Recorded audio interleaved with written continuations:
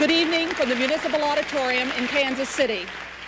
I am Dorothy Ridings, the President of the League of Women Voters, the sponsor of this final presidential debate of the 1984 campaign between Republican Ronald Reagan and Democrat Walter Mondale. Our panelists for tonight's debate on defense and foreign policy issues are Georgie Anne Geyer, syndicated columnist for Universal Press Syndicate, Marvin Kalb, chief diplomatic correspondent for NBC News, Morton Kondracke, executive editor of the New Republic magazine, and Henry Trewhitt, diplomatic correspondent for the Baltimore Sun. Edwin Newman, formerly of NBC News and now a syndicated columnist for King Features, is our moderator. Ed. Dorothy Ridings, thank you. A brief word about our procedure tonight. The first question will go to Mr. Mondale. He'll have two and a half minutes to reply. Then the panel member who put the question will ask a follow-up. The answer to that will be limited to one minute. After that, the same question will be put to President Reagan. Again, there will be a follow-up, and then each man will have one minute for rebuttal. The second question will go to President Reagan first. After that, the alternating will continue. At the end, there will be four-minute summations with President Reagan going last. We have asked the questioners to be brief. Let's begin. Ms. Geyer, your question to Mr. Mondale. Mr. Mondale, two related questions on the crucial issue of Central America. You and the Democratic Party have said that the only policy toward the horrendous civil wars in Central America should be on the economic development and negotiations with perhaps a quarantine of Marxist Nicaragua. Do you believe that these answers would in any way solve the bitter conflicts there? Do you really believe that there is no need to resort to force at all? Are not these solutions to Central Americans' gnawing problems simply, again, too weak and too late? I believe that the question oversimplifies the difficulties of what we must do in Central America. Our objectives ought to be to strengthen the democracies, to stop uh, communist and other extremist influences, and stabilize the community in that, in that area. To do that, we need a three-pronged attack. One is uh, military assistance to our friends who are being uh, pressured. Secondly, a strong and sophisticated economic aid program and human rights program that offers a better life and a sharper alternative to the alternative offered by the totalitarians who oppose us. And finally, a strong diplomatic effort that pursues the possibilities of peace in the area.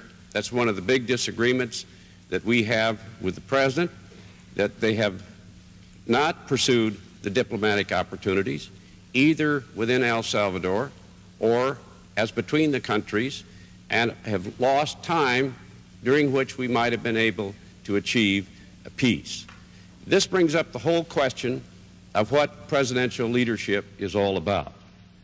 I think the lesson in Central America, this recent embarrassment in Nicaragua, where we are uh, giving instructions for hired assassins, hiring criminals, and the rest, all of this has strengthened our opponents. A president must not only assure that we're tough, but we must also be wise and smart in the exercise of that power. We saw the same thing in Lebanon, where we spent a good deal of America's assets, but because the leadership of this government did not pursue wise policies, we have been humiliated and our opponents are stronger.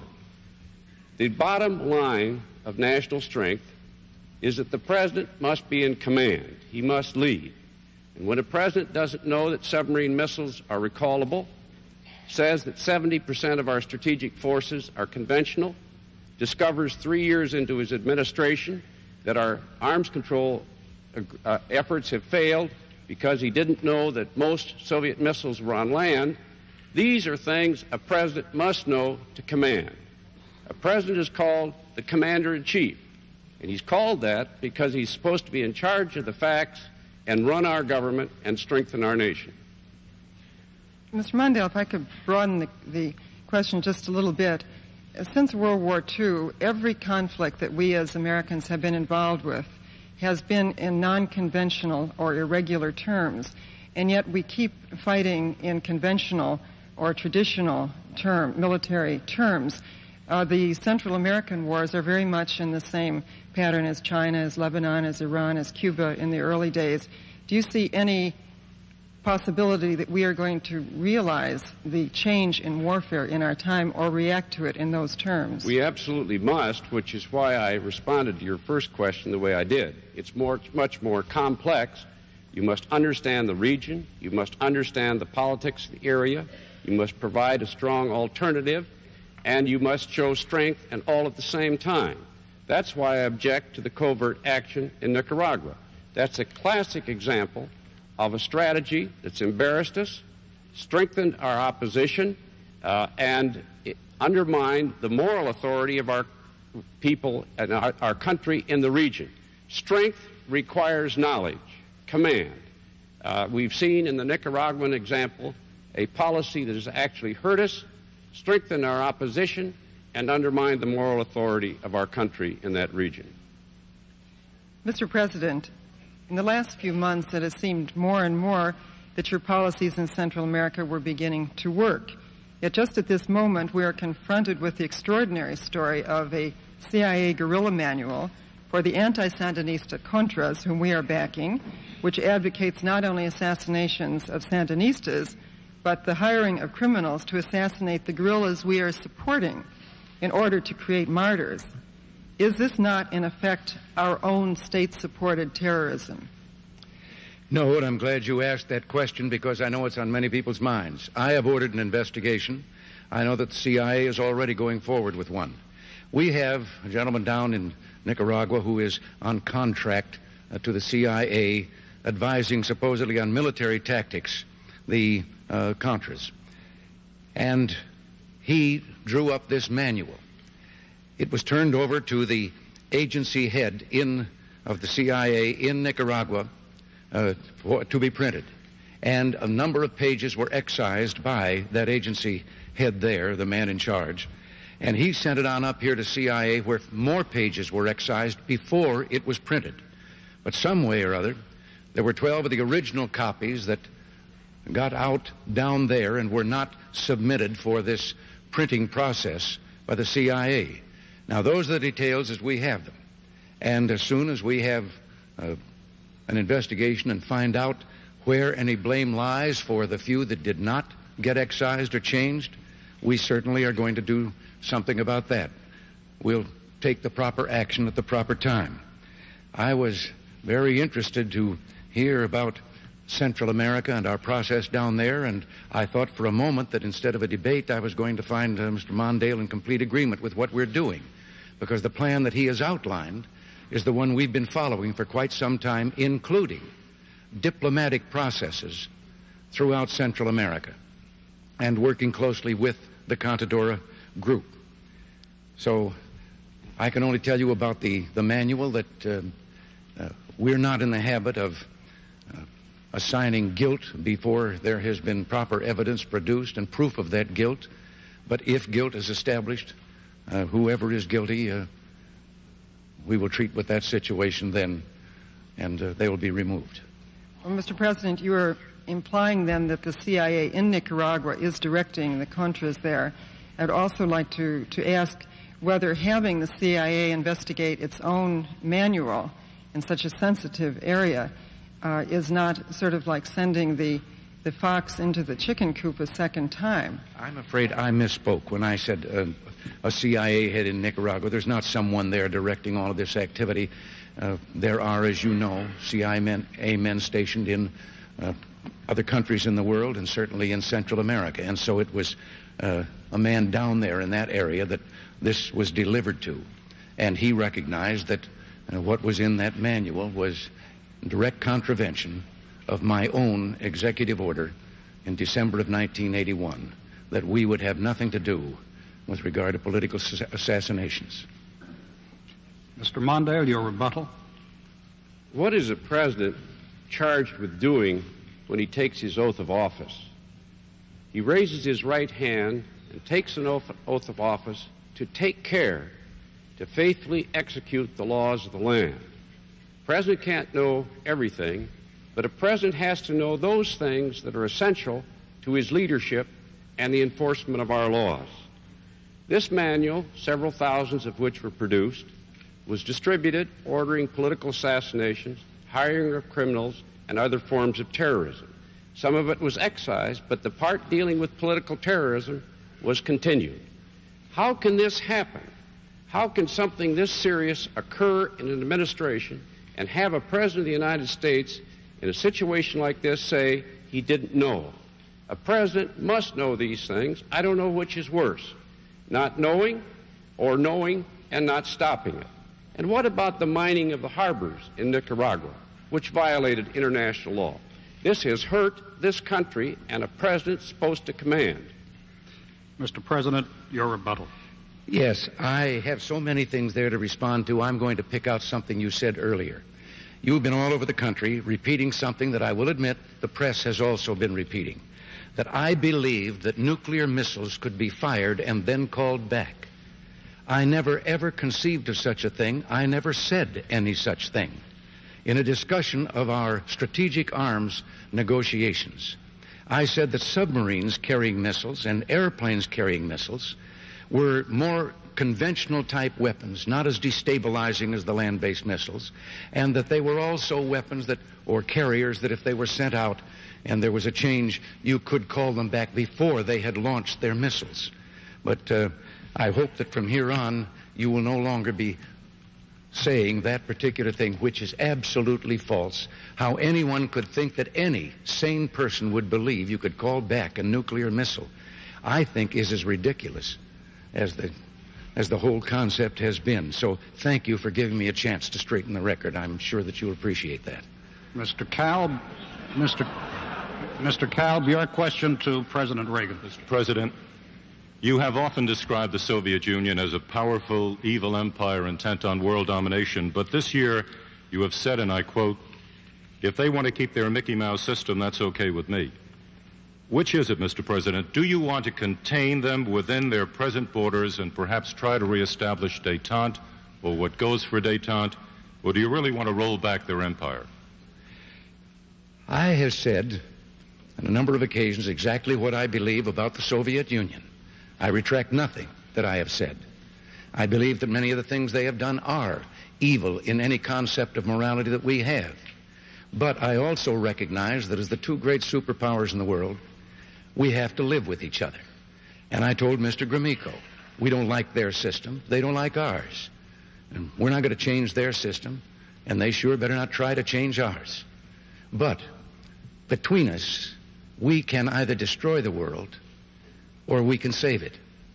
And I suggested that certainly it was to their common interest, along with ours, to avoid a conflict and to attempt to save the world and remove the nuclear weapons. And I think that perhaps uh, we established a little better understanding. I think that in dealing with the Soviet Union, one has to be realistic.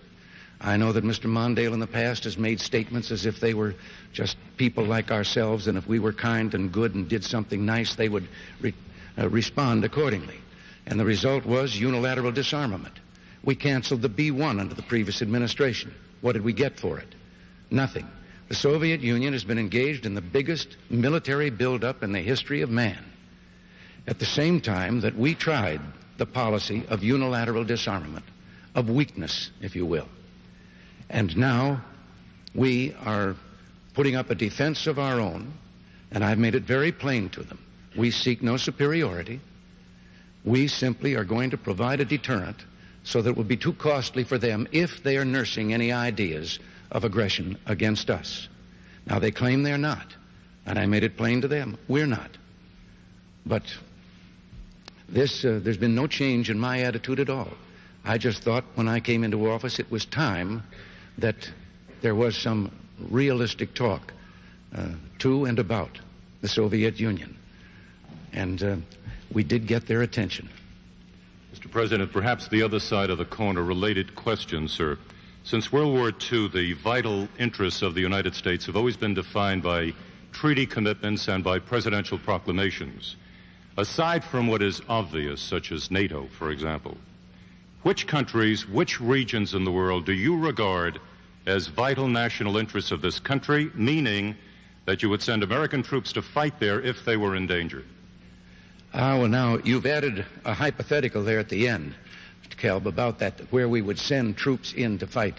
Uh, I am not going to make the decision as to what the tactics could be, but obviously there are a number of areas in the world that are of importance to us. One is the Middle East, and that is of interest to the whole Western world and the industrialized nations because of the great supply of energy uh, upon which so many depend there. The, our neighbors here in America uh, are vital to us. Uh, we're working right now and trying to be of help in uh, uh, southern Africa with regard to the independence of Namibia and the removal of the Cuban surrogates, the thousands of them, from Angola. So I can say there are a great many interests. I believe that we have a great interest in the Pacific Basin. That is where I think the future of the world lies. But I am not going to pick out one and in advance hypothetically say, oh, yes, we would send uh, uh, troops there. I don't I'm want to sorry, send Mr. troops President. anyplace. Sorry, your time was up. Uh, Mr. Mondale, you have described the Soviet leaders as, and I'm quoting, cynical, ruthless, and dangerous, suggesting an almost total lack of trust in them.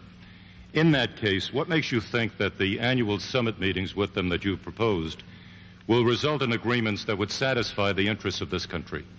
Because the only type of agreements to reach with the Soviet Union are the types that are specifically defined so we know exactly what they must do, subject to full verification, which means we know every day whether they're living up to it, and follow ups wherever we find suggestions that they're violating it, and the strongest possible terms. I have no illusions about the Soviet Union leadership or the nature of that state. They are a tough and a ruthless adversary, and we must be prepared to meet that challenge, and I would. Where I part with the President is that despite all of those differences, we must, as past presidents before this one have done, meet on the common ground of survival.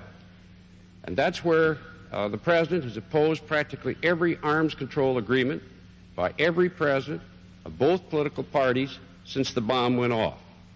And he now completes this term with no progress toward arms control at all, but with a very dangerous arms race underway instead. There are now over 2,000 more warheads pointed at us today than there were when he was sworn in, and that does not strengthen us. We must be very, very realistic in the nature of that leadership, but we must grind away and talk to find ways to reducing these differences, particularly where arms races are concerned and other dangerous exercises of Soviet power. There will be no unilateral disarmament under my administration. I will keep this nation strong. I understand exactly what the Soviets are up to, but that too is a part of national strength. To do that, a president must know what is essential to command and to leadership and to strength. And that's where the president's failure to master, in my opinion, the essential elements of arms control has cost us dearly. These four years, three years into this administration, he said he just discovered that most Soviet missiles are on land, and that's why his proposal didn't work. I invite the American people tomorrow, because I will issue the statement, quoting President Reagan. He said exactly what I said he said. He said that these missiles were less dangerous than ballistic missiles because you could fire them and you could recall them if you decided there had been a miscalculation. I'm sorry, a president Mr. must know those things. Related question, Mr. Mondale, on Eastern Europe. Do you accept the conventional diplomatic wisdom that Eastern Europe is a Soviet sphere of influence? And if you do, what could a Mondale administration realistically do to help the people of Eastern Europe achieve the human rights that were guaranteed to them as a result of the Helsinki Accords? I think the essential strategy of the United States ought not accept any Soviet control over Eastern Europe. We ought to deal with each of these countries separately. We ought to pursue strategies with each of them, economic and the rest, that help them pull away from their dependence upon the Soviet Union. where the Soviet Union has acted irresponsibly, as they have in many of those countries, especially recently in Poland, I believe we ought to insist that Western credits extended to the Soviet Union bear the market rate, make the Soviets pay for their irresponsibility. That is a very important objective to make certain that we continue to look forward to, uh, to progress toward greater independence by these nations and work with each of them separately. Mr. President, your rebuttal. Yes, I'm not going to continue trying to respond to these rep- repetitions of the falsehoods that have already been stated here. But with regard to whether Mr. Mondale would be strong as he said he would be, I know that he has a commercial out where he is appearing on the deck of the Nimitz and watching the F 14s take off, and that's an image of strength. Except that if he had had his way when the Nimitz was being planned, he would have been deep in the water out there because there wouldn't have been any Nimitz to stand on. He was against it. He was against the F 14 fighter. He was against the M 1 tank. He was against the B 1 bomber. He wanted to cut the salary of the, all of the military. He wanted to bring home half of the American forces in Europe. And he has a record of weakness with regard to our national defense that is second to none. Indeed, he was on that side virtually throughout all his years in the Senate, and he opposed even the President Carter when, toward the end of his term, President Carter wanted to increase the defense budget. Mr. Mondale, your rebuttal.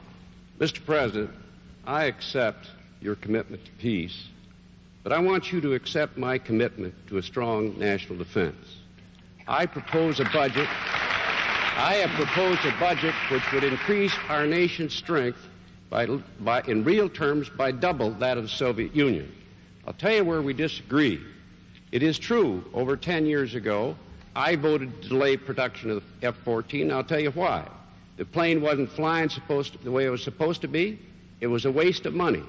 Your definition of national strength is to throw money at the Defense Department.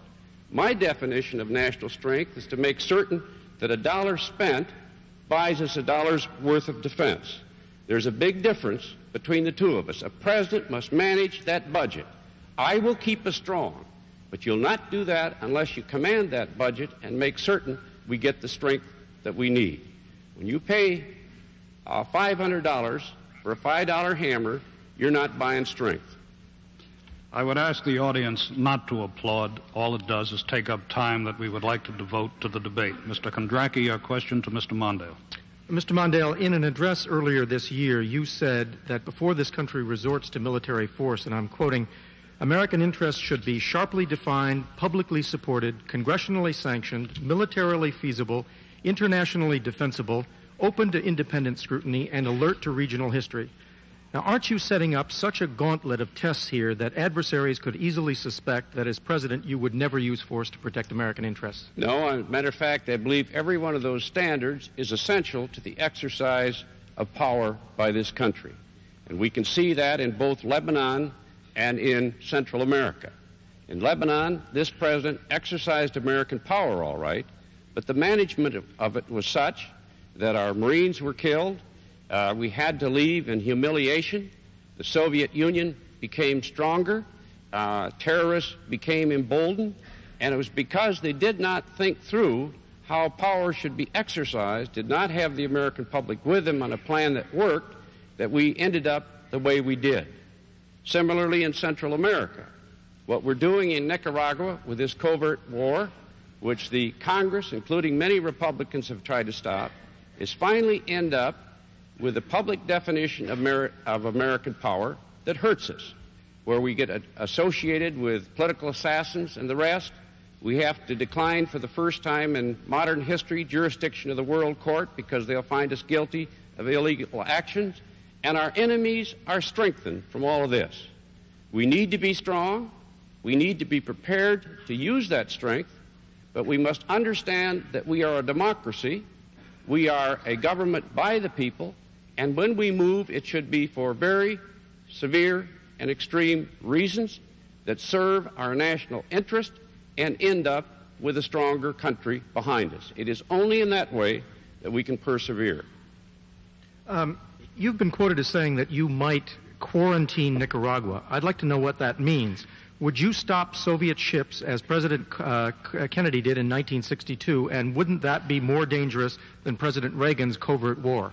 What I'm referring to there is the mutual self defense provisions that exist in the uh, Inter American Treaty, so called Rio Pact, that permits the nations, our friends in that region, to combine to take steps, diplomatic and otherwise, to prevent Nicaragua when she acts irresponsibly in asserting power in other parts outside of her border, to take those steps, whatever they might be, to stop it.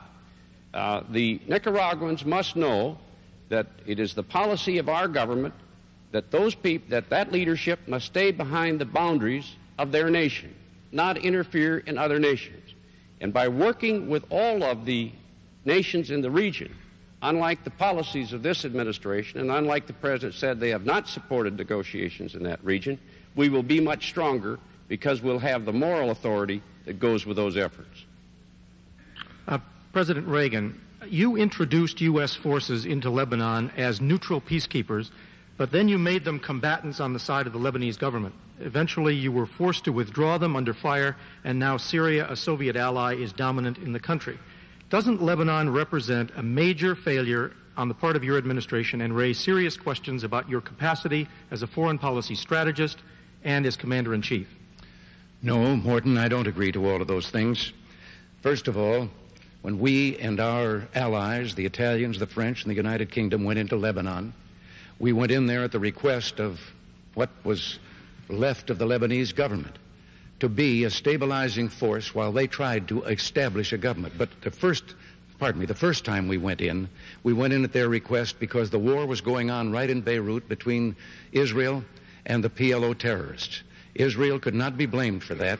Those terrorists had been violating their northern border consistently, and Israel chased them all the way to there. Then we went in with a multinational force to help remove and did remove more than 13,000 of those terrorists from Lebanon. We departed. And then the government of Lebanon asked us back in as a stabilizing force while they established a government and sought to get the foreign forces all the way out of Lebanon and that they could then take care of their own borders. And we were succeeding. We were there for the better part of a year. Our position happened to be at the airport. Oh, there were occasional snipings and sometimes some artillery fire. But we did not engage in conflict that was out of line with our mission. I will never send troops anywhere on a mission of that kind without telling them that if somebody shoots at them, they can darn well shoot back. And this is what we did. We never initiated any kind of action. We defended ourselves there. But we were succeeding to the point that the Lebanese government had been organized. If you will remember, there were the meetings in Geneva in which they began to meet with the hostile factional forces and try to put together some kind of a peace plan. We were succeeding, and that was why the terrorist acts began. There are forces there, and that includes Syria in my mind, who don't want us to succeed, who don't want that kind of a peace with a dominant Lebanon dominant over its own territory. And so the terrorist acts began and led to the one great tragedy when they were killed in that suicide bombing of the building. Then the multilateral force withdrew for only one reason. We withdrew because we were no longer able to carry out the mission for which we had been sent in. But we went in in the interest of peace and to keep Israel and Syria from getting into the sixth war between them. And I have no apologies for our going on a peace mission. Mr. President, four years ago, you criticized President Carter for ignoring ample warnings that our diplomats in Iran might be taken hostage. Haven't you done exactly the same thing in Lebanon, not once, but three times, with 300 Americans not hostages but dead? And you vowed swift retaliation against terrorists, but doesn't our lack of response suggest that you're just bluffing? Morton, no. I think there's a great difference between the government of Iran threatening our diplomatic personnel, and there is a government that you can see and can put your hand on. In the terrorist situation, there are terrorist factions all over. In, the, in a recent 30 day period, 37 terrorist acts in 20 countries have been committed. The most recent has been the one in Brighton. In dealing with terrorists, yes, we want to retaliate, but only if we can put our finger on the people responsible and not endanger the lives of innocent civilians there in the various communities and in the city of, of Beirut uh, where these terrorists are operating. I have just signed legislation to add to our ability to deal, along with our allies, with this terrorist problem.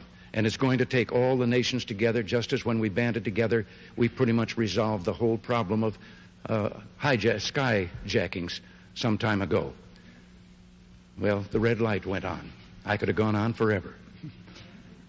Mr. Mondale, your rebuttal. Groucho Marx said, Who do you believe, me or your own eyes? And what we have in Lebanon is something that the American people have seen.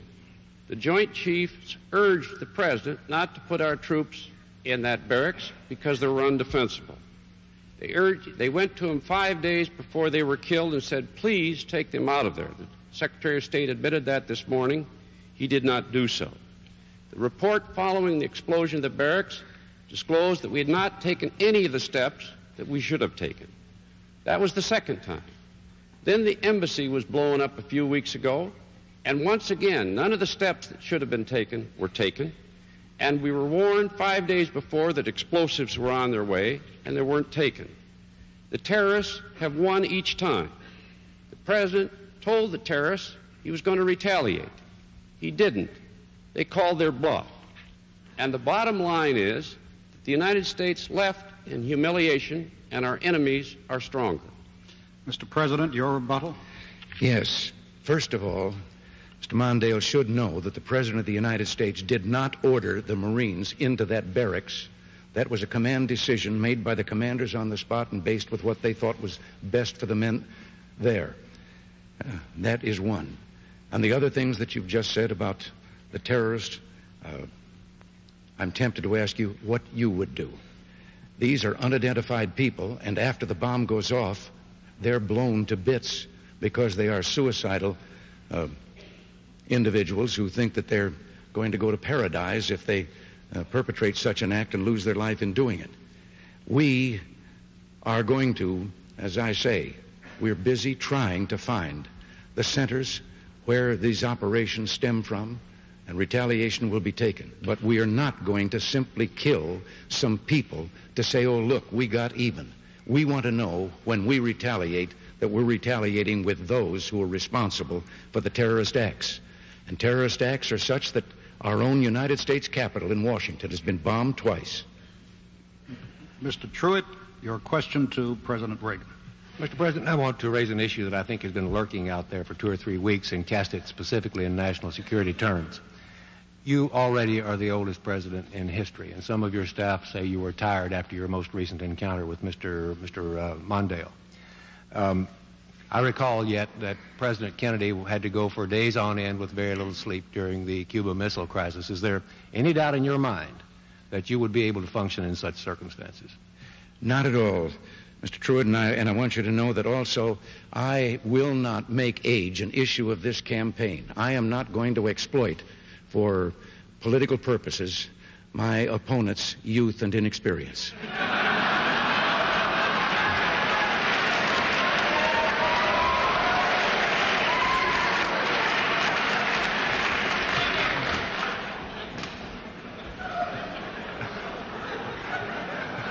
If I still have time, I might add, Mr. Trewhitt, I might add that um,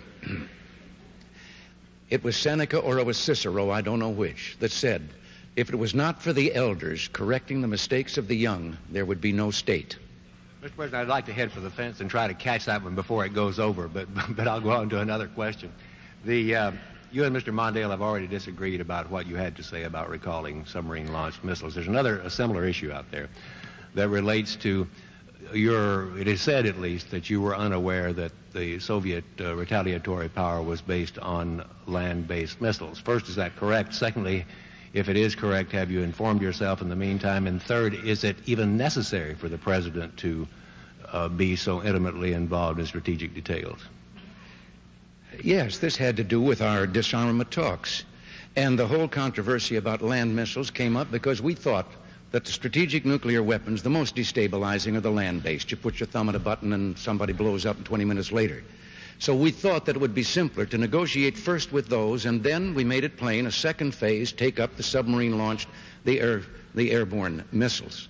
The Soviet Union, to our surprise, and not just mine, made it plain when we brought this up that they placed, they thought, a greater reliance on the land based missiles, and therefore they wanted to take up all three. And we agreed. We said, all right, if that's what you want to do. But it was a surprise to us because they outnumbered us 64 to 36 in submarines and 20% more bombers capable of carrying nuclear missiles than we had. So why should we believe that they had placed that much re- more reliance on land-based? But even after we gave in and said, all right, let's discuss it all, they walked away from the table. We didn't. Mr. Mondale, I'm going to hang in there. Should uh, the president's age and stamina be an issue in the political campaign? No, and I have not made it an issue, nor should it be. What's at issue here is the President's application of his authority to understand what a President must know to lead this nation, secure our defense, and make the decisions and the judgments that are necessary. Uh, a minute ago, the President quoted Cicero, I believe. I want to quote somebody a little closer home, Harry Truman. He said, the buck stops here. We just heard the president's answer for the problems at the barracks in Lebanon where 241 Marines were killed. What happened? First, the Joint Chiefs of Staff went to the president and said, don't put those troops there. They did it. And then, five days before the troops were killed, they went back to the president through the Secretary of Defense and said, please, Mr. President, take those troops out of there because we can't defend them. They didn't do it. And we know what's what happened. After that, once again, our embassy was exploded. This is the fourth time this has happened, an identical attack in the same region, despite warnings, even public warnings from the terrorists. Who's in charge? Who's handling this matter? That's my main point. Now, on arms control, we're completing four years. This is the first administration since the bomb went off that made no progress. We have an arms race underway instead. A president has to lead his government or it won't be done. Different people with different views fight with each other. For three and a half years, this administration avoided arms control, resisted tabling arms control proposals that had any ho- hope of agreeing, rebuked their negotiator in 1981 when he came close to an agreement, at least in principle, on medium range weapons. And we have this arms race underway. And a recent book that just came out by the, perhaps the nation's most respected author in this field, Strobe Talbott, called Deadly Gambit, concludes that this president has failed to master the essential details needed to command and lead us, both in terms of security, in terms of arms control. That's why they call the president a commander in chief. Good intentions, I grant, but it takes more than that. You must be tough and smart.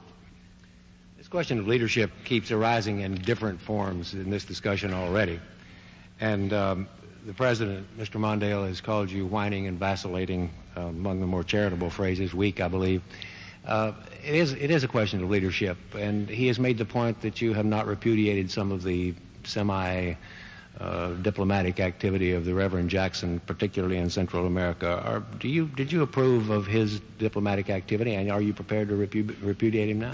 Uh, I, I, read his statement the other day. I don't admire uh, Fidel Castro at all, and I have said that. Che Guevara was a contemptible figure in civilization's history. I know the Cuban state as a police state, and all my life I've worked in a way that demonstrates that. But Jesse Jackson is an independent person. I don't control him. And let's talk about people we do control. In the last debate, the Vice President of the United States said that I said the Marines had died shamefully and died in shame in Lebanon. I demanded an apology from Vice President Bush because I had instead honored these young men, grieved for their families, and think they were wonderful Americans that honored us all. What does the President have to say about taking responsibility for a Vice President who won't apologize for something like that? Mr. President, your rebuttal. Yes, I know it'll come as a surprise to Mr. Mondale, but I am in charge. And as a matter of fact, we haven't avoided arms control talks with the Soviet Union very early in my administration. I proposed, and I think something that had never been proposed by any previous administration, I proposed a total elimination of intermediate range missiles where the Soviets had better than a ton and still have better than a 10 to 1 advantage over the Allies in Europe. When they protested that uh, and suggested a smaller number, perhaps I went along with that. The so-called negotiation that you said I walked out on was the so-called walk in the wood between one of our representatives and one of the Soviet Union, and it wasn't me that turned it down. The Soviet Union disavowed it. Mr. Mondale, your rebuttal. Uh, there are two distinguished authors on arms control in this country. There are many others, but two that I want to cite tonight. One is Strobe Talbott in his classic book, Deadly Gambit. The other is John Newhouse, who's one of the most distinguished arms control specialists in our country. Both said that this administration turned down the Walk in the uh, Woods agreement first, and that would have been a perfect agreement from the standpoint of the United States and Europe and our security. When Mr. Nitze, a good negotiator, returned, he was bu- rebuked and his boss was fired. This is the kind of leadership that we've had in this administration in the most deadly issue of our time. Now we have a runaway arms race. All they've got to show for four years in U.S. Soviet relations is one meeting in the last weeks of an administration and nothing before. They're tough negotiators, but all previous presidents have made progress. This one has not. Ms. Geyer, your question to Mr. Mondale. Mr. Mondale, many analysts are now saying that actually our number one foreign policy problem today is one that remains almost wholly unrecognized massive illegal immigration from economically collapsing countries. They are saying that it is the only real territorial threat to the American nation state. You yourself said in the 1970s that we had a, quote, hemorrhage on our borders, unquote. Yet today you have backed off any immigration reform, such as the balanced and highly crafted Simpson-Mazzoli bill. Why? What would you do instead today, if anything? Uh, this is a very serious problem in our country, and it has to be dealt with. I object to that part of the Simpson-Mazzoli bill, which I think is very unfair and would prove to be so. That is the part that requires employers to determine the citizenship of an employee before they're hired. I am convinced that the result of this would be that people who are Hispanic, people who have uh, different languages or speak with an accent, would find it difficult to be employed. I think that's wrong. We've never had citizenship tests in our country before, and I don't think we should have a citizenship card today. That is counterproductive. I do support the other aspects of the Simpson-Mazzoli bill that strengthen enforcement at the border, strengthen other ways of dealing with undocumented workers in this, in this uh, difficult area, and dealing with the problem of settling people who have lived here for many, many years and do not have an established status. I have further strongly recommend that this administration do something that is not done, and that is to strengthen enforcement at the border, strengthen uh, the officials in this government that deal with undocumented workers, and to do so in a way that's responsible and within the Constitution of the United States. We need an answer to this problem, but it must be an American answer that is consistent with justice and due process. Everyone in this room, practically, here tonight is an immigrant. We came here loving this nation, serving it, and it has served all of our most bountiful dreams. And one of those dreams is justice. And that we need a measure, and I will support a measure, that brings about those objectives, but avoids that one aspect that I think is very serious. The second part is to maintain and improve relations with our friends to the South. We cannot solve this problem all on our own. And that's why the failure of this administration to deal in effective and good faith way with Mexico, with Costa Rica, with the other nations in trying to find a peaceful settlement to the dispute in Central America has undermined our capacity to effectively to deal diplomatic in this, diplomatically in this area as well. Sir, people as well balanced and just as Father Theodore Hesburgh at Notre Dame, who headed the Select Commission on Immigration, have pointed out repeatedly that there will be no immigration reform without employer sanctions because it would be an unbalanced bill and there would be simply no way to reinforce it.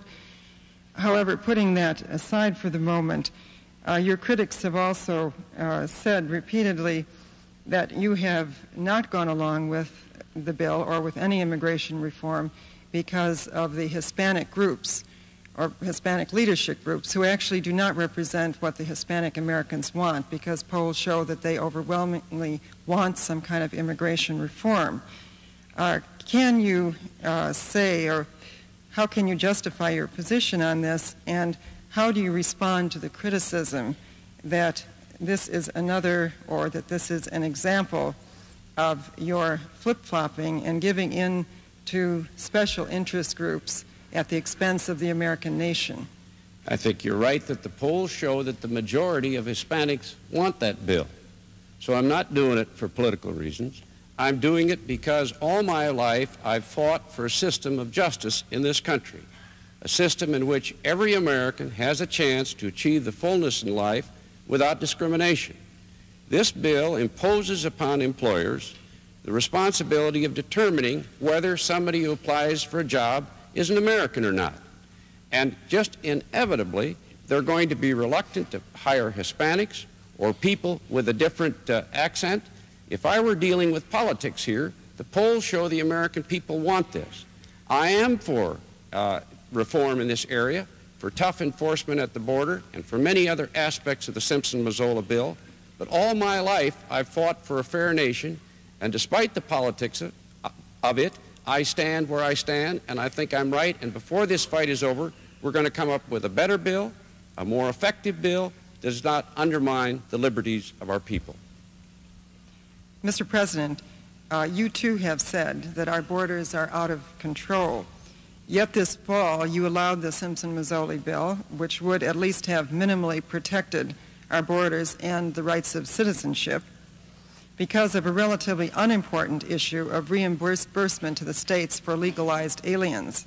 Given that, may I ask what priority can we expect you to give this forgotten national security element? How sincere are you in your efforts to control, in effect, the nation state that is the United States?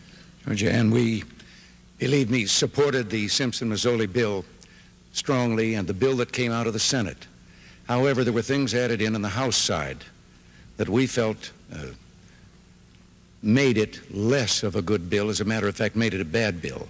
And in conference, we stayed with them in conference all the way to where even Senator Simpson did not want the bill in the manner in which it would come out of the conference committee. There were a number of things in there that weakened that bill. I can't go into detail about them here. But it is true our borders are out of control. It is also true that this has been a situation on our borders back through a number of administrations. And I supported this bill. I believe in the idea of amnesty for those who have put down roots and who have lived here, even though some time back uh, they, they may have entered illegally. With regard to the employer sanctions, this, we must have that, not only to ensure that we can identify the illegal aliens, but also, while some keep protesting about what it would do to employers, there is another employer that we shouldn't be so concerned about. And these are employers down through the years who have encouraged the illegal entry into this country because they then hire these individuals and hire them at starvation wages and with none of the benefits that we think are normal and natural for workers in our country and the individuals can't complain because of their illegal status. We don't think that those people should be allowed to continue operating free. And this was why the provisions that we had in with regard to sanctions and so forth. And I'm going to do everything I can, and all of us in the administration are, to join in again when Congress is back at it to get an immigration bill that will give us once again control of our borders. And with regard to friendship below the border and uh, with the countries down there, yes, no administration that I know has established the relationship that we have with our Latin friends. But as long as they have an economy that leaves so many people in dire poverty and unemployment, they are going to seek that employment across our borders, and we work with those other countries. Mr. President, the experts also say that the situation today is terribly different, quantitatively, qualitatively different from what it has been in the past because of the gigantic population growth. For instance, Mexico's population will go from about 60 million today to 120 million at the turn of the century. Many of these people will be coming into the United States not as citizens but as illegal workers. You have repeatedly said recently that you believe that Armageddon, the destruction of the world, may be imminent in our times.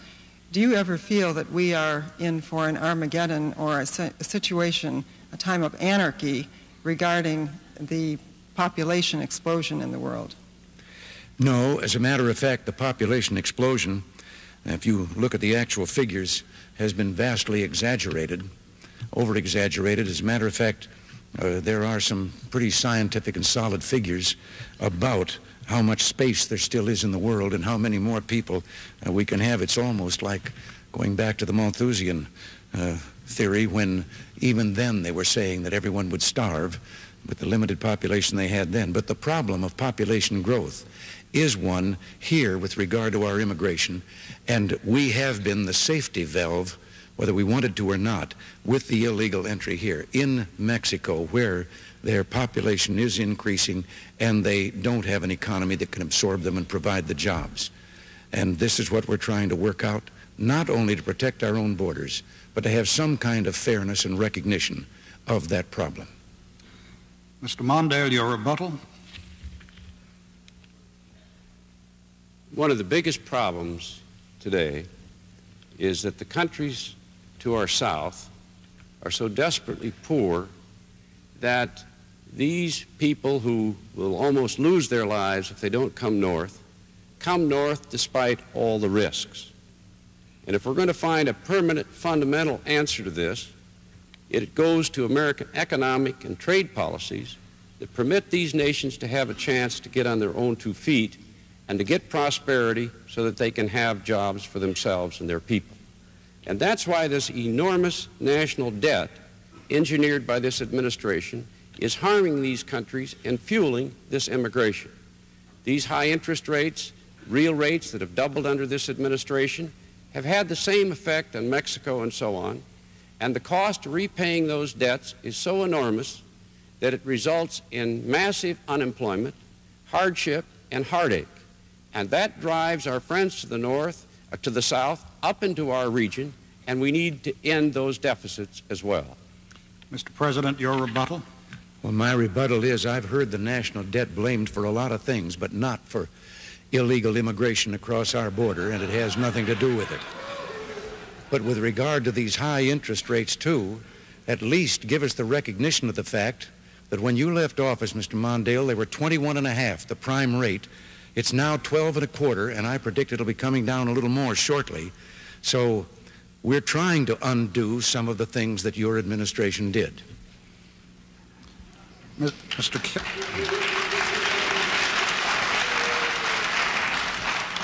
no applause, please. Mr. Kalb, your question to President Reagan.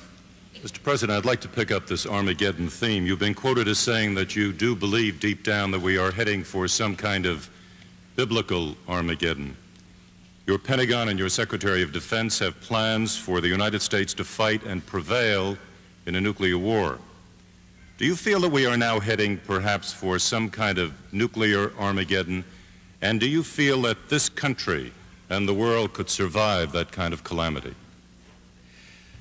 Mr. Kalb, I think what has been hailed as something I'm supposedly, as president, discussing as principle is the result of just some philosophical discussions with people who interested in the same things, and that is uh, the prophecies down through the years, the biblical prophecies of what would portend the coming of Armageddon and so forth, and the fact that a number of uh, theologians for the last decade or more have believed that um, this was true, that the prophecies are coming together that portend that. But no one knows whether Armageddon those prophecies mean that Armageddon is a thousand years away uh, or day after tomorrow. So I have never seriously uh, warned and said we must plan according to Armageddon. Now, with regard to having to say whether uh, we would try to survive in the event of a nuclear war, of course we would. But let me also point out that to several parliaments around the world, in Europe and in Asia, I have made a statement to each one of them, and I'll repeat it here. A nuclear war cannot be won and must never be fought. And that is why we are maintaining a deterrent and trying to achieve a deterrent capacity to where no one would believe that they could start such a war and escape uh, with limited damage. But the deterrent, and that's what it is for, is also what led me to propose what is now being called the Star Wars concept, but propose that we research to see if there isn't a defensive weapon that could defend against incoming missiles. And if such a defense could be found, wouldn't it be far more humanitarian to say that now we can defend against a nuclear war by destroying missiles instead of slaughtering millions of people? Mr. President, when you made that proposal, so-called Star Wars proposal, you said, if I'm not mistaken, that you would share this very super sophisticated technology with the Soviet Union. After all of the distrust over the years, sir, that you have expressed towards the Soviet Union, do you really expect anyone to take seriously that offer that you would share the best of America's technology in this weapons area with our principal adversary? Why not? What if we did? And I hope we can. We're still researching. What if we come up with a weapon that renders those missiles obsolete. There has never been a weapon invented in the history of man that has not led to a defensive, a counter weapon. But suppose we came up with that. Now, some people have said, ah, that would make it war imminent because they would think that we could launch a, launch a first strike because we could defend against the enemy. But why not do what I have offered to do and ask the Soviet Union to do? Say, look, here's what we can do. We'll even give it to you now, will you sit down with us and once and for all get rid, all of us, of these nuclear weapons and free mankind from that threat? I think that would be the greatest use of a defensive weapon. Mr. Mondale, you've been very sharply critical of the President's Strategic Defense Initiative. And yet, what is wrong with a major effort by this country to try to use its best technology to knock out as many incoming nuclear warheads as possible? First of all, let me sharply disagree with the President on sharing the most advanced, the most dangerous, the most important technology in America with the Soviet Union. We have had for many years, understandably, a system of restraints on high technology because the Soviets are behind us, and any research or development along the Star Wars schemes would inevitably involve our most advanced computers, most advanced engineering, and the thought that we would share this with the Soviet Union is, in my opinion, a total non starter. I would not let the Soviet Union get their hands on it at all. Now, what's wrong with Star Wars? There's nothing wrong with the theory of it. If we could develop a principle that would say both sides could fire all their missiles and no one would get hurt, I suppose it's a good idea. But the fact of it is, we're so far away from research that even comes close to that that the director of engineering research in the Defense Department said to get there, we would have to solve eight problems, each of which are more difficult than the atomic bomb and the Manhattan Project. It would cost something like a trillion dollars to test and deploy weapons. The second thing is, this all assumes that the Soviets wouldn't respond in kind and they always do. We don't get behind, they won't get behind, and that's been the tragic story of the arms race. We have more at stake in space satellites than they do. If we could stop right now the testing and the deployment of these space weapons, and the President's proposals go clear beyond research. If it was just research, we wouldn't have any argument, because maybe someday somebody will think of something. But to commit this nation to a buildup of anti satellite and space weapons at this time in their crude state would bring about an arms race that's very dangerous indeed. One final point. The most dangerous aspect of this proposal is for the first time we would delegate to computers the decision as to whether to start a war. That's dead wrong. There wouldn't be time for a president to decide. It would be decided by these remote computer, computers. It might be an oil fire, it might be a jet exhaust. The computer might decide it's a missile, and off we go. Why don't we stop this madness now and draw a line and keep the heavens free from war? Mr. Mondale. In this, in this general area, sir, of arms control, President Carter's national security advisor, Zbigniew Brzezinski, said, quote, a nuclear freeze is a hoax, unquote. Yet the basis of your arms proposals, as I understand them, is a mutual and verifiable freeze on existing weapon systems. In your view, which specific weapon systems could be subject to a mutual and verifiable freeze and which could not? Every system that is verifiable should be placed on the table for negotiations for an agreement. I would not agree to any negotiations or any agreement that involved conduct on the part of the Soviet Union that we couldn't verify every day. I would not agree to any uh, agreement in which the United States security interest was not fully uh, recognized and supported. That's, th- that's why we say mutual and verifiable freezes. Now, what, why do I support the freeze? Because this ever rising arms race madness makes both nations less secure. It's more difficult to defend this nation. It is putting a hair trigger on nuclear war. This administration, by going into the Star Wars system, is going to add a dangerous new escalations. We have to be tough on the Soviet Union, but I think the American people Time and the people up, of the Soviet Union want it to stop. President Reagan, your rebuttal. Yes, my rebuttal once again is that this invention that has just been created here of uh, how I would go about rolling over for the Soviet Union, no, Mr. Mondale, my idea would be with that defensive weapon that we would sit down with them and then say, now, are you willing to join us? Here's what we can give them, give them a demonstration. And then say, here's what we can do. Now, if you're willing to join us in getting rid of all the nuclear weapons in the world, then we'll give you this one so that we would both know that no one can cheat, that we've both got something that if anyone tries to cheat. But when you keep star warring it, I never suggested where the weapon should be or what kind. I'm not a scientist. I said, and the Joint Chiefs of Staff agreed with me, that it was time for us to turn our research ability to seeing if we could not find this kind of a defensive weapon. And suddenly somebody says, oh, it's got to be up there and it's Star Wars and so forth. I don't know what it would be, but if we can come up with one, I think the world will be better off. Mr. Mondale, your rebuttal. Well, that's what a president's supposed to know where those weapons are going to be. If they're space weapons, I assume they'll be in space.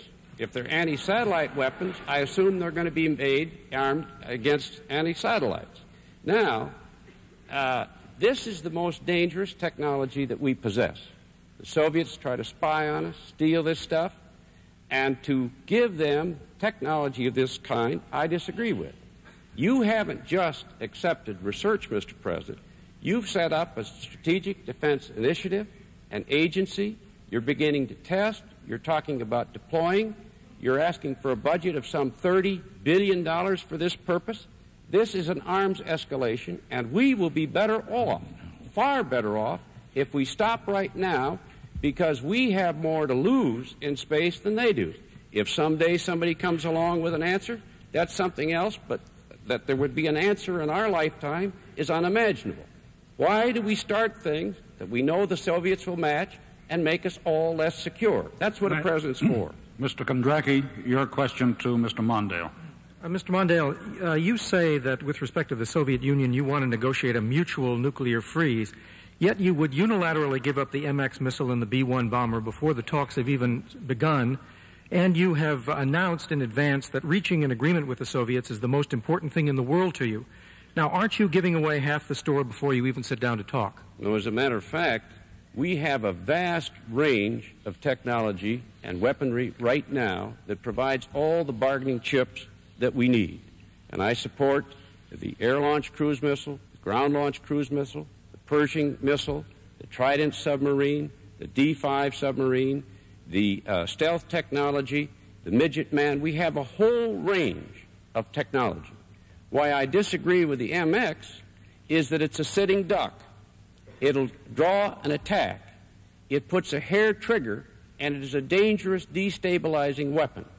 And the B 1 is similarly to be uh, opposed because for 15 years the Soviet Union has been preparing to meet the B 1. The Secretary of Defense himself said it would be a suicide mission if it were built. Instead, I want to build the Midget Man, which is mobile and thus less vulnerable, contributing to stability, and a weapon that will give us security and contribute to an incentive for arms control. That's why I'm for stealth technology to build a stealth bomber, which I've supported for years, that can penetrate the Soviet air defense system without any uh, hope that they can perceive where it is because their radar system is frustrated. In other words, a president has to make choices. This makes us stronger. The final point is that we can use this money that we save on these weapons to spend on things that we really need. Our conventional strength in Europe is under strength. We need to strengthen that in order to assure our Western allies of our presence there, a strong defense, but also to diminish and reduce the likelihood of a commencement of a war and the use of nuclear weapons. It's in this way, by making wise choices, that we're stronger, we enhance the chances of arms control. Every president until this one has been able to do it, and this nation, or the world, is more dangerous as a result. I want to, I want to uh, follow up on uh, Mr. Kalb's question. Um, it seems to me on the question of verifiability that, that you do have some problems with, with the extent of the freeze. It seems to me, for example, that testing would be very difficult to verify because the Soviets encode their telemetry.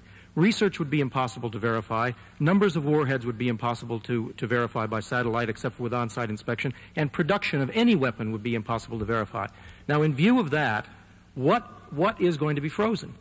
I will not agree to any arms control agreement, including a freeze, that's not verifiable. Let's take your warhead principle. The warhead principle, they've been counting rules for years.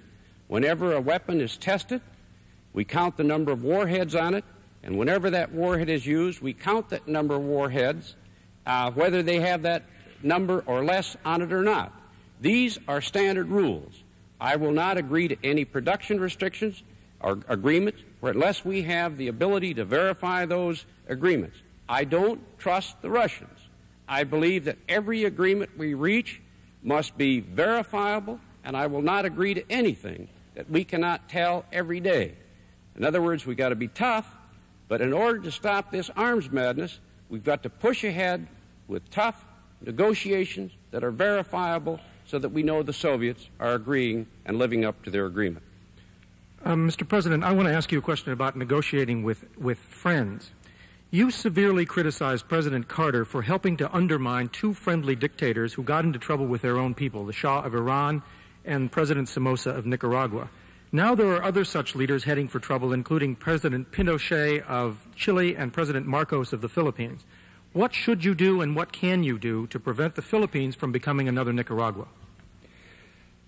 Morton, I did criticize the president because of our undercutting of what was a stalwart ally, the Shah of Iran. And I am not at all convinced that he was that far uh, out of uh, line with his people or that they wanted that to happen. The Shah had done our bidding and carried our load in the Middle East uh, for quite some time, and I did think that it was a blot on our record that we let him down. Have things gotten better? The Shah, whatever he might have done, was building low cost housing had taken land away from the mullahs and was distributing it to the peasants so they could be landowners, things of that kind. But we turned it over to a maniacal fanatic who has slaughtered thousands and thousands of people, calling it executions. The matter of Somoza, no, I never defended Somoza. And as a matter of fact, uh, the previous administration stood by, and so did I. Uh, not that I could have done anything in my, my position at that time, but for this revolution to take place. And the promise of the revolution was democracy, human rights, free labor unions, free press. And then, just as Castro had done in Cuba, the Sandinistas ousted the other parties to the revolution. Many of them are now the Contras. They exiled some, they jailed some, they murdered some. And they installed a Marxist Leninist totalitarian government. And what I have to say about this is many times, and this has to do with the Philippines also, I know there are things there in the Philippines that do not look good to us from the standpoint right now of, of uh, democratic rights. But what is the alternative? It is a large communist movement to take over the Philippines. They have been our friend for uh, since their inception as a nation. And I think that we've had enough of a record of letting, under the guise of revolution, someone that we thought was a little more right than we would be, letting that person go and then winding up with totalitarianism, pure and simple, as the alternative. And I think that we're better off, for example, with the Philippines, of trying to retain our friendship and help them right the wrongs we see, rather than throwing them to wolves and then facing a communist power uh, in the Pacific. Uh, Mr. President, since the United States has two strategically important bases in the Philippines, would the overthrow of President Marcos constitute a threat to vital American interests? And if so, what would you do about it? Well, as I say, we have to look at what an overthrow there would mean and what the government would be that would follow. And there is every evidence, every indication that that government would be hostile to the United States. And that would be a severe blow to, the, to our abilities there in the Pacific. And what would you do about it? Sorry, sorry, you've asked the follow up question. Mr. Mondale, your rebuttal. Perhaps in no area do we disagree more than this administration's policies on human rights. I went to the Philippines as vice president, pressed for human rights, called for the release of Aquino, and made progress that had been stalled on both the Subic and the Clark airfield bases. What explains this administration cozying up to the Argentine dictators after they took over? Fortunately, a democracy took over, but this nation was embarrassed by this uh, current administration's adoption of their policies. What happens in South Africa? Where, for example, the Nobel Prize winner two days ago said this administration is seen as working with the oppressive government of that region of South Africa. That hurts this nation. We need to stand for human rights. We need to make it clear we're for human liberty. National security and human rights must go together, but this administration, time and time again, has lost its way in this field. President Reagan, your rebuttal. Well, the invasion of Afghanistan didn't take place on our watch. Uh, I have described what has happened in Iran, and we weren't here then either. Uh, I don't think that our record of human rights can be assailed. I think that we have observed ourselves and have done our best to see that human rights uh, are extended throughout the world. Mr. Mondale has recently announced a plan of his to get the democracies together and to work with the whole world to turn to democracy. And I was glad to hear him say that because that's what we've been doing ever since I announced to the British Parliament that I thought we should do this. And uh, uh, human rights are not advanced when at the same time you then stand back and say, whoops, we didn't know the gun was loaded, and you have another totalitarian power on your hands. In this in this segment, because of the pressure of time, there will be no rebuttals and there will be no follow up questions. Mr. Trewhitt, your question to President Reagan. One question to each candidate. One question to each candidate. Mr. President, could I take you back to something you said earlier, and if I'm misquoting you, please correct me. But I understood you to say that if the development of space military technology was successful, you might give the Soviets a demonstration and say, here it is, which sounds to me as if you might be trying to gain the sort of advantage that would enable you to dictate terms, in which I would then suggest to you might mean uh, scrapping a generation of nuclear strategy called mutual deterrence, in which we in effect hold each other hostage. Is that your intention?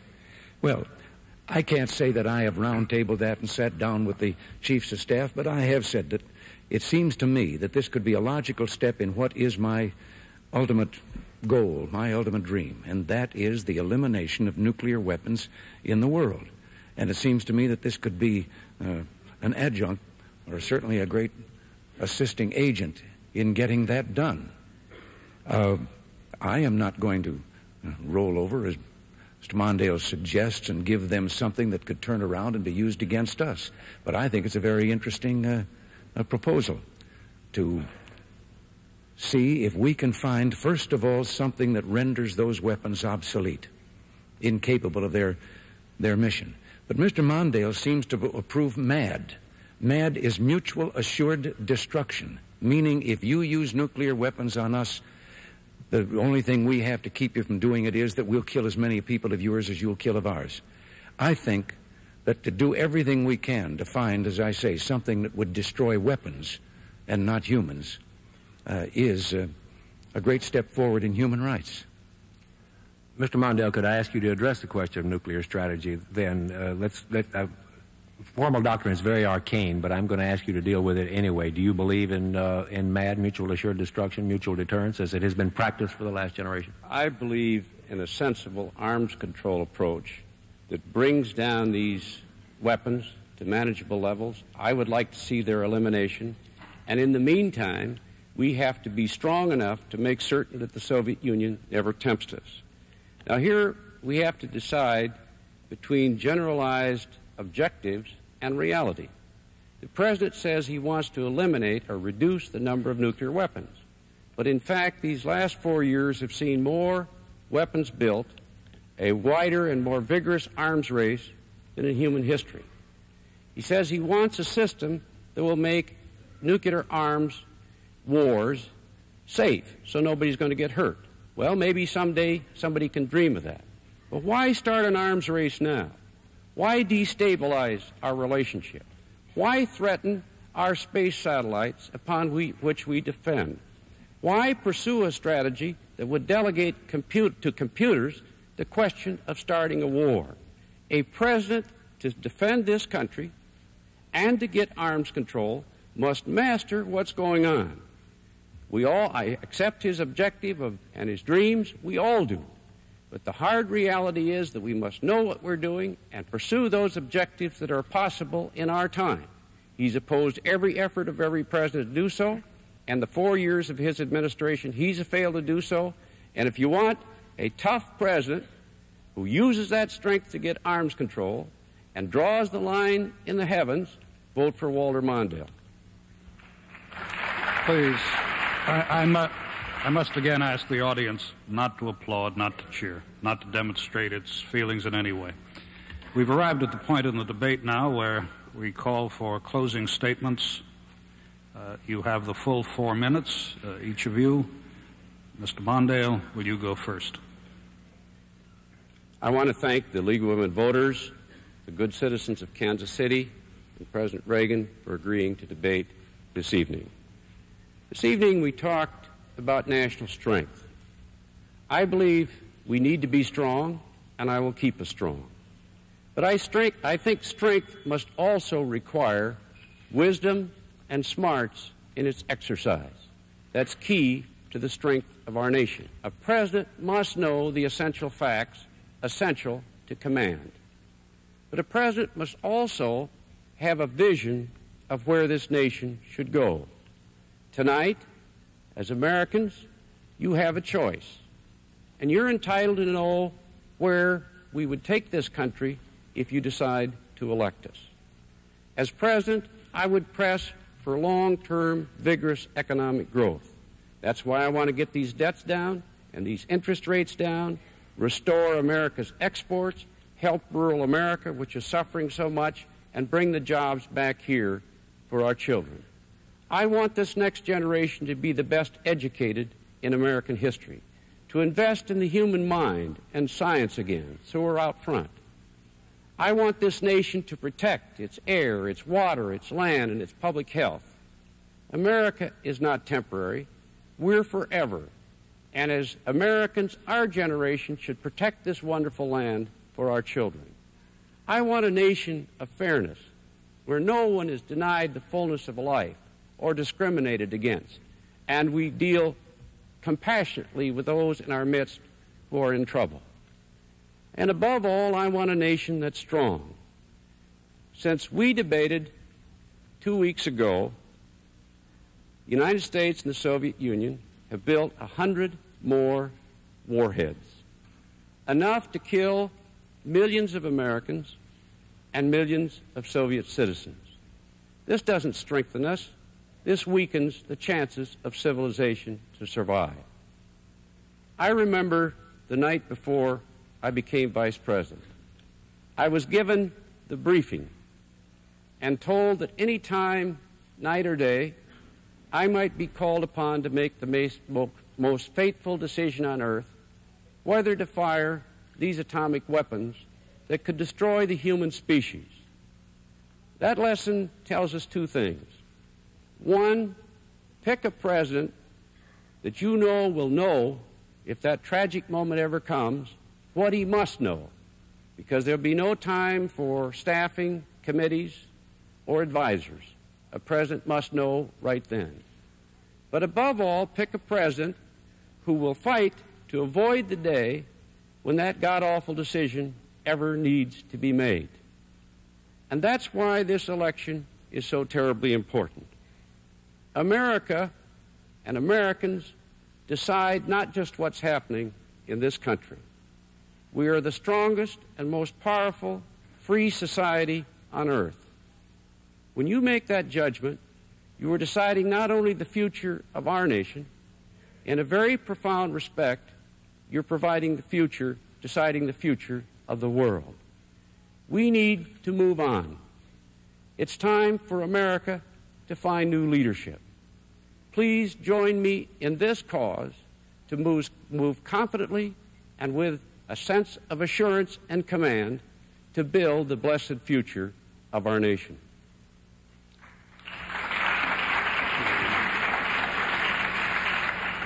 President Reagan, your summation, please. Yes, my thanks to the League of Women Voters, to the panelists, the moderator, and to the people of Kansas City for their warm hospitality and greeting. I think the American people tonight have much to be grateful for. An economic recovery that has become expansion, freedom, and most of all, we are at peace. I am grateful for the chance to reaffirm my commitment to reduce nuclear weapons and one day to eliminate them entirely. The question before you comes down to this Do you want to see America return to the policies of weakness of the last four years? Or do we want to go forward marching together as a nation of strength and that's going to continue to be strong? The we shouldn't be dwelling on the past or even the present. The meaning of this election is the future and whether we're going to grow and provide the jobs and the opportunities for all Americans and that they need. Several years ago, I was given an assignment to write a letter. It was to go into a time capsule and would be read in a hundred years when that time capsule was opened. I remember driving down the California coast. One day my mind was full of what I was going to put in that letter about the problems and the issues that confront us in our time and what we did about them.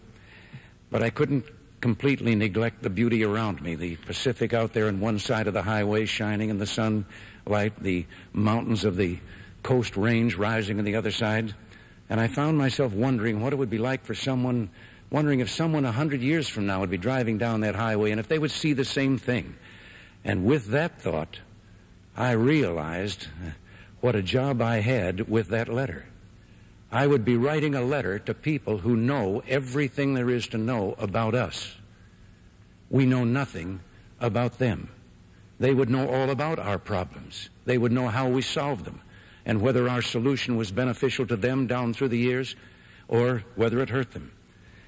They would also know that we lived in a world with terrible weapons, nuclear weapons of terrible destructive power, aimed at each other, capable of crossing the ocean in a matter of minutes and destroying civilization as we knew it. And then I thought to myself, what, what are they going to say about us? What are those people a hundred years from now going to think? They will know whether we used those weapons or not. Well, what they will say about us a hundred years from now depends on how we keep our rendezvous with destiny. Will we do the things that we know must be done and know that one day, down in history, a hundred years or perhaps before, someone will say, Thank God for those people back in the 1980s, for preserving our freedom, for saving for us this blessed planet called Earth with all its grandeur and its beauty. You know, I am grateful to all of you for giving me the opportunity to serve you for these four years, and I seek reelection because I want more than anything else to try to complete the new beginning that we charted four years ago. George Bush, who I think is one of the finest vice presidents this country has ever had, George Bush and I have crisscrossed the country, and we've had in these last few months a wonderful experience. We have met young America we have met your sons and daughters. Mr. President, I am obliged to cut you off there under the rules of the debate. I'm sorry. All right. I was just going to. Oh, okay.